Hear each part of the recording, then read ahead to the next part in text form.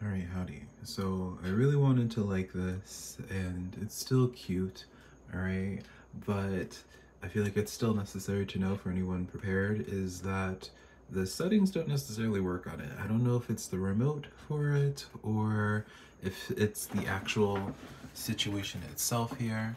For those that are curious, uh, it doesn't feel cheap, right? It's like a, you know, like it's not like styrofoam or something. Like it's cute.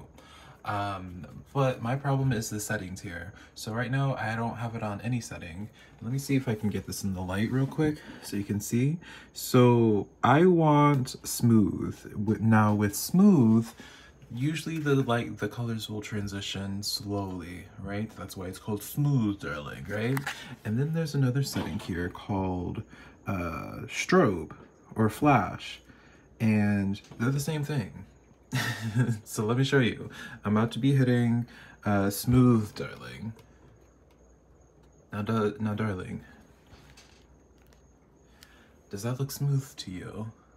Is that smooth? Am I, am I just crazy? And so then let's hit the flash. You know, like it, it's, it's the same thing. All right. And so then I'll do the flash, the second one. And then that one's like that one, okay, I think maybe I guess you could consider that one smooth, but I don't consider that one smooth. I mean, for other people that have used items like this, that have remotes like this, like that doesn't look like smooth. As well as the brightness doesn't work. Like I try to change the brightness to see if there's a difference. It doesn't work.